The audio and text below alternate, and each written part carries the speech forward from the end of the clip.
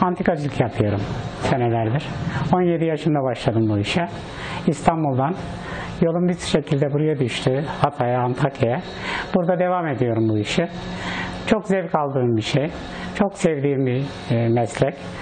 E, Valla 100 yılda 200 yıl arası olan bütün eşyaları antik olarak satmaya, tamirini, bakımını yapmaya çalışıyorum. Evet, 50 yıldır aşağı yukarı bu işi yapıyorum ben.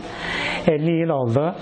Ee, İstanbul'da bir ara sattım eşyalarımı, bıraktım. Tekrar Hatay'da yeniden başladım. Şimdi burada devam ediyorum.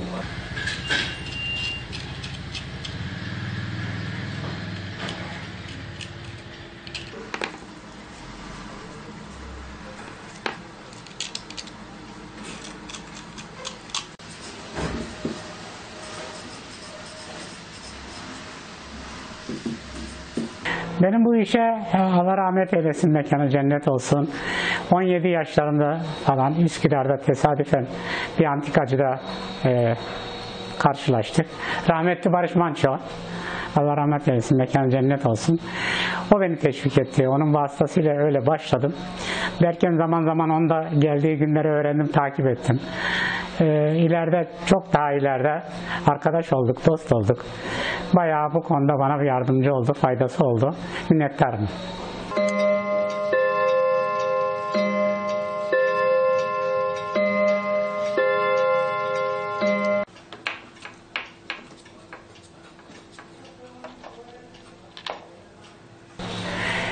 Genelde ev eşyaları.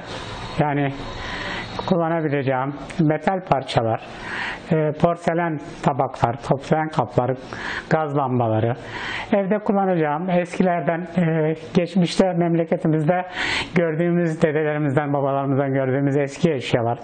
İşte köyde yaşantıda kullandığımız kap kacaklar öyle başladı, öyle gidiyor, öyle devam edip gidiyor devam. Eski ustaların yaptığı 200 yıla dayanan e, işte saatler var. E, e, koltuk takımları var oturacağım. Masalar var, sehpalar var ona benzer. Bir de Ermeni işi kapkacak var. Yani bakır malzeme. Ee, cam türü, porselen türü eşyalar var Avrupa yerli. Öyle yani çok güzel şeyler var.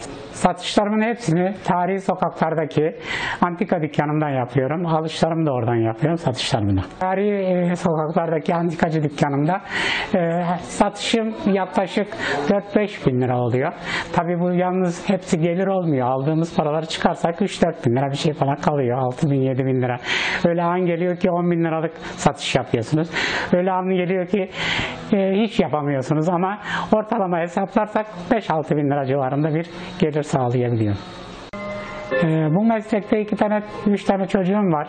İki tanesini evlendirdim bu meslekte kazandığım paralarla. Üçüncü oğlumu da okuttum, üniversiteyi bitirdim. O da şimdi işine başladı. Allah kısmet ederse yakında onu da evlendireceğim. Eski. Fiyatı ne kadar bunun? 300 liradan. Gençliğimizde biz çok kullandık bunu. Bununla resim çektiriyorduk. Bunun şipşak resim basıyorsunuz. Alttan bir beyaz kağıt çıkıyor.